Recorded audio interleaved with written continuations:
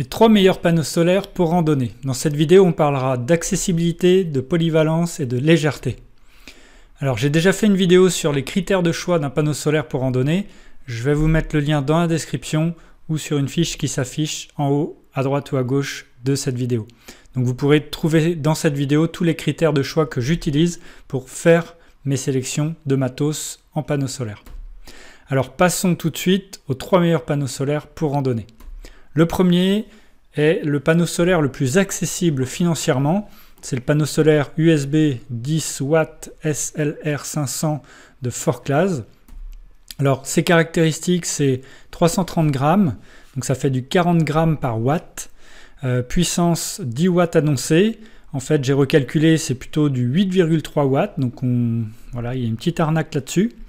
Euh, dimension 29 cm par 18 par 2 cm.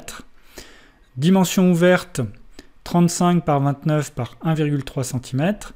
Et euh, la sortie, donc c'est un port USB 5 euh, volts, 1600 mAh, donc quelque chose d'assez classique. Et il y a 4 points d'attache avec deux mousquetons fournis. Alors au niveau de l'étanchéité, il n'est pas euh, reconnu comme étant un panneau étanche. Le temps de charge annoncé est de 8 heures en plein soleil pour recharger une batterie externe de 10 000 mAh. Euh, attention, c'est une valeur minimale annoncée par le fabricant. Hein. Euh, le temps de charge estimé dans de vraies conditions par beau temps, que moi j'ai estimé, hein, serait plutôt aux alentours des 6 heures pour charger complètement une batterie de 5000 mAh et 12 bonnes heures pour charger complètement une batterie de 10 000 mAh. Il y a un témoin de charge euh, euh, pour montrer si ça charge rapidement ou pas. Donc vert c'est rapide, orange c'est lent. Alors l'avantage de ce panneau solaire, c'est qu'il est pas cher, il est accessible financièrement. Il y a une pochette de rangement pour les câbles euh, derrière. L'inconvénient, c'est qu'il va être beaucoup moins performant que des modèles plus haut de gamme. Euh, donc mon avis, c'est que c'est un premier prix accessible qui est assez léger par rapport à la concurrence, mais qui ne sera pas aussi performant que du haut de gamme. Donc à utiliser principalement avec une batterie externe de 10 000 mAh. Vous pouvez cliquer sur le lien en description sous la vidéo pour voir son tarif. Passons maintenant au deuxième panneau solaire que j'ai sélectionné, qui est le semi-rigide PT Flap 11 watts Sun Power de la marque PowerTech. Donc PowerTech, c'est vraiment la référence des panneaux solaires. C'est une marque française. Euh, c'est le panneau solaire qui va être le plus polyvalent et euh, parmi les plus performants. Donc ce panneau, il fait 300 grammes, donc il est un petit peu plus léger que l'autre. Donc on est à 29 grammes euh, par watt. Euh, sa puissance annoncée est de 10,6 watts. Je l'ai recalculé à 10,4. Donc là, on est, on est bon. Il n'y a pas d'arnaque sur le sujet. Euh, dimension pliée 26 par 16 par 0,6 cm. Donc c'est un panneau qui est vraiment très fin. Dimension ouverte 26 par 33 par 0,2 cm. Euh, et puis il a une sortie USB 5,2 volts, 2000 mAh, donc un peu plus puissant en intensité que le premier, mais quelque chose qui est assez classique. Et il y a quatre œillets d'attache, donc il faudra rajouter des, mousquetons par exemple pour, euh, pour l'attacher sur un sac à dos. Alors au niveau étanchéité, il est 100% étanche, éclaboussure et petite immersion. Euh, donc ça c'est intéressant, même quand il y a des averses, un peu de pluie, etc. On peut le laisser un peu sous l'eau. Sous euh, le temps de charge annoncé euh, pour ce PowerTech, euh, alors PowerTech indique pas de temps de charge. Alors c'est d'un côté assez intelligent car cela dépend énormément des conditions d'utilisation. S'il y a des nuages, si euh, on oriente bien le panneau, en sachant que le temps de charge sur le terrain ne sera jamais aussi rapide que le temps de charge optimal sur le papier affiché par les fabricants. Mais moi j'aurais quand même bien aimé avoir une indication voilà, estimée pour avoir quand même une petite base sur laquelle s'appuyer. Euh, moi, le temps de charge que j'ai estimé dans de vraies conditions serait de 5 heures pour charger complètement une batterie de 5000 mAh et 10 heures pour charger complètement une batterie de 10 000 mAh, ce qui est, euh, ce qui est pas mal du tout. Alors, ce panneau, il a des témoins de charge. Euh, vert, ça fournit 100% de la puissance, violet 75%, bleu 50%. Donc en fonction de la couleur, vous voyez si ça recharge vite ou pas. Et rouge, ça veut dire qu'il est en marche. mais qui fournit moins de 50% de sa puissance. Alors l'avantage de ce panneau, c'est que euh, c'est le plus performant du marché euh, à ma connaissance et il est étanche. Euh, et par contre l'inconvénient, c'est que c'est des, panneaux assez chers hein, puisqu'ils sont vraiment haut de gamme. L'avis que j'ai sur ce panneau-là, c'est un panneau donc, qui est haut de gamme, d'une capacité de charge confortable. La marque PowerTech est une référence je possède ce panneau euh, depuis euh, un an et demi maintenant. Euh, sa capacité de charge, vraiment, je la trouve excellente par rapport à d'autres panneaux, d'autres marques que j'ai eu avant. C'est clairement plus rapide, en sachant que la charge optimum se fera avec une batterie externe de 10 000 mAh. Alors vous pouvez également cliquer sur le lien dans la description sous la vidéo pour voir le tarif de ce panneau solaire. Donc ça, c'est un panneau solaire qui est adapté pour un randonneur seul, par exemple, qui a besoin de pas mal d'énergie, donc qui a un téléphone plus euh, un appareil photo ou un, GPS, ou alors pour deux randonneurs euh, ayant chacun euh, un téléphone à, recharger. Alors passons au panneau solaire Pocket Power 6,5 watts de la marque PowerTech également. Donc là, ça va être le panneau solaire vraiment haut de gamme mais ultra léger.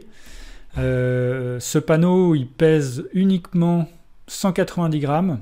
Donc on est aussi à 29 grammes par watt, comme euh, celui précédemment, mais comme c'est moins puissant, il est plus léger. Donc il a une puissance de 6,5 watts, euh, dimension pliée 14 par 10 cm, dimension ouverte 14 par 40 cm, donc il se plie en, il a quatre panneaux différents hein, qui se plient les uns sur les autres.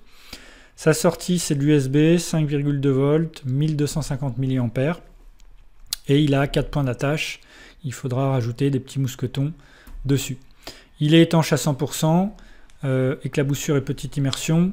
Au niveau du temps de charge annoncé, donc comme euh, le précédent PowerTech n'indique pas de temps de charge, ce qui est quand même un petit peu dommage pour euh, avoir une, une idée. Moi j'estime un temps de charge dans de vraies conditions à 8 heures pour charger complètement une batterie de 5000 mAh et 16 heures pour une batterie de 10 000 mAh. Quand je dis de vraies conditions, ce sont de bonnes conditions avec un temps ensoleillé et le panneau bien orienté face au soleil. au niveau des témoins de charge, c'est exactement le même système que le panneau précédent, vert, violet, bleu, rouge en fonction de la charge, 100%, 75, 50% ou moins de 50%. L'avantage de ce panneau, c'est qu'il est étanche, il est haut de gamme, et c'est également le plus léger du marché à ma connaissance, en tout cas dans les panneaux haut de gamme. Euh, l'inconvénient, euh, évidemment, c'est qu'il est assez cher. Alors mon avis, c'est que c'est un panneau solaire petit, pliant, haut de gamme, léger, qui pourra donc être suffisant pour un randonneur voulant recharger uniquement son téléphone portable. Euh, sa petite taille, elle est très pratique quand il faut le ranger dans le sac à dos. Et la charge optimum se fera avec une batterie externe de 5000 mAh mais une batterie de 10 000 mAh vous donnera un peu plus de réserve. Donc encore une fois, un hein, PowerTech c'est euh, une belle référence des panneaux solaires.